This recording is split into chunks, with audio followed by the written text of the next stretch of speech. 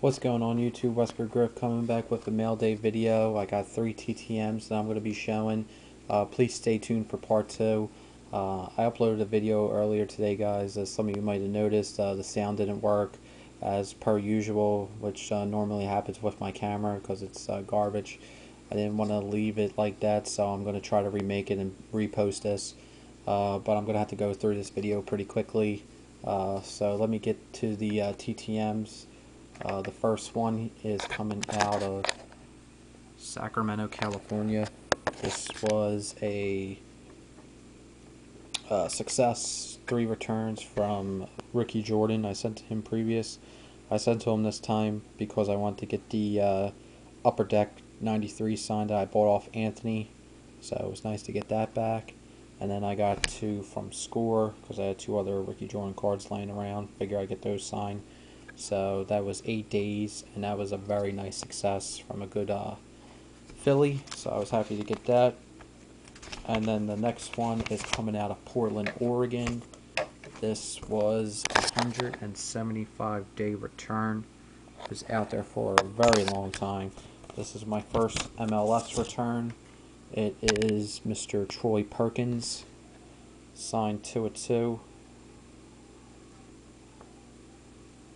So it was nice to get that back from a from a very good MLS player.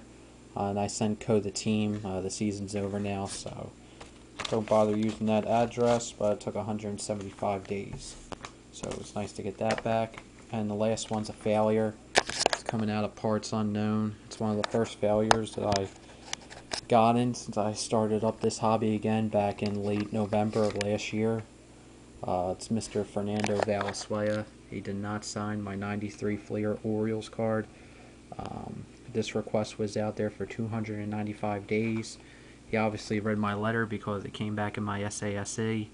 Uh, and this was uh, SASE that you had to lick the close, and he obviously licked the envelope closed to do that. So he read my letter, did all that, and mailed it, and he didn't sign my card. So that was pretty frustrating. Um, a lot of people told me that he does not sign Orioles or Phillies cards and he was on the Baltimore Orioles in 93 and he was on the Philadelphia Phillies at 94 uh, and I wanted to get his autograph for both those PCs so it's going to be very difficult to get him uh, but I've seen a lot of other failures come back from him so I don't know why he's not signing.